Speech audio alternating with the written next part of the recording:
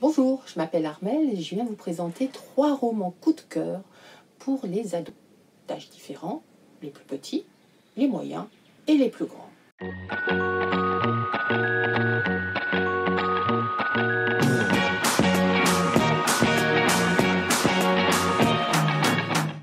Je vais commencer par L'affaire des fées de Cottingley, inspirée de faits réels. Ce roman, écrit par Natacha Henry, a été publié par les éditions Rajo en 2020. Nous sommes en 1917 dans le petit village de Cottingley, en Angleterre. Les parents de Elsie ont décidé d'accueillir sa tante et sa cousine Frances, âgée de 9 ans, l'oncle étant parti au front en France. Elsie, âgée de 16 ans, a une passion, c'est la photographie. Elle adore cadrer, prendre les photos, faire les tirages elle-même sur les plaques de verre. Elle travaille d'ailleurs chez M. Gunston, en remplacement de l'apprenti qui lui aussi est parti à la guerre. Au dire de son père, elle aurait même un œil artistique prometteur. Mais avec l'arrivée de cette petite cousine, fini le travail chez M. Gunston. Bonjour les journées babysitting. Finalement, une certaine complicité se noue entre les cousines. Et Elsie pour vaincre l'angoisse de sa cousine, qui a peur de ne pas revoir son père, décide de se moquer gentiment de leur mère. En effet, les deux sœurs, leur mère, croient dur comme fer en l'existence des fées. Elles découpent des figurines, travaillent une mise en scène, vont s'installer près du ruisseau et elles vont photographier les fées, car c'est bien connu, les fées apparaissent seulement enfants. Et là, le résultat ne se fait pas attendre. Les mères en parlent à tout le village. Leur ferveur se décuple.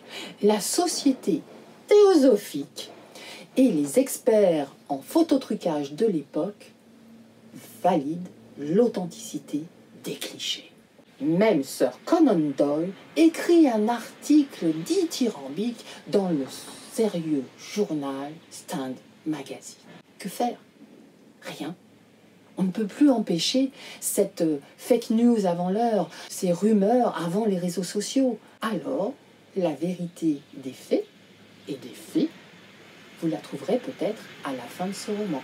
Le roman L'affaire des faits de Cottingley fait partie de la sélection du prix Lire et Choisir pour l'édition 2022-2023. Profitez-en. D'autant plus que deux films ont été réalisés la même année, en 1997, et que celui réalisé par Charles Sturridge existe en DVD et est disponible dans toutes les bonnes médiathèques du réseau de Saint-Quentin en Yvelines. Le deuxième roman s'intitule À un poil près, écrit par Stéphane Botti et publié au Calico cette année même, en 2022. Notre narrateur est élève en cinquième et il a une manie toute récente, à savoir qu'il glisse une de ses mains dans son pantalon pour triturer le seul poil qu'il a sur le bas-ventre. Cela l'interroge et l'inquiète. Est-ce normal? Et dans le même temps, cela le rassure, parce qu'il est le seul à connaître son existence, et c'est son secret. Il voudrait bien se confier, mais à qui? Pas à ses meilleurs copains, dans le doute, et encore moins à ses parents.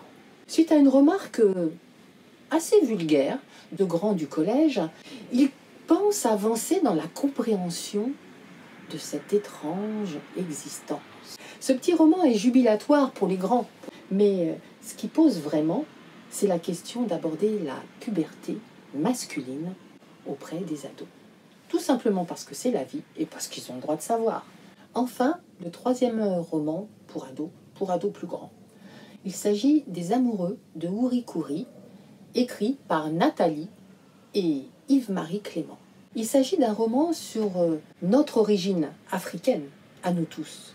Il y a 300 000 ans, en échappant à l'éruption volcanique qui a détruit sa tribu, Nour va rencontrer Dib, du clan des maîtres du feu, au gré de leur migration. Le récit de leur vie commune va s'intercaler dans celui de Juliette Aya Aoutou, cette jeune ivoirienne, docteur en paléontologie, après avoir suivi ses études en France, a décidé de retourner en Afrique pour y travailler, pour y vivre. C'est son tuteur de recherche parisien qui va lui confier sa première mission au Mali en zone dangereuse. Elle accepte. En attendant sur le site le reste de l'expédition française, Juliette va être protégée par un vieux burkinabé, Oscar. Lui a quitté son village pour rejoindre la ville, Bamako, pour pouvoir gagner suffisamment d'argent pour payer sa tontine. Et puis parallèlement, on va rencontrer Kim. Kim est une jeune malienne d'une dizaine d'années qui a été enrôlée de force comme enfant soldat de Dieu, qui va abandonner son identité de Kim pour prendre celle de Mehdi, cachant sous des vêtements cette identité féminine. Ces quatre chemins vont se croiser. Comment tout cela va-t-il finir? Voilà, ma présentation terminée. Si cela vous a donné envie de, lire à votre tour ces trois romans ou l'un de ces trois romans, vous pouvez réserver dès à présent en utilisant le lien qui figure dans la barre de description en bas de la vidéo. Et n'hésitez pas à vous abonner à la chaîne YouTube de 50 ans en Yvelines pour nos prochains Booktubes.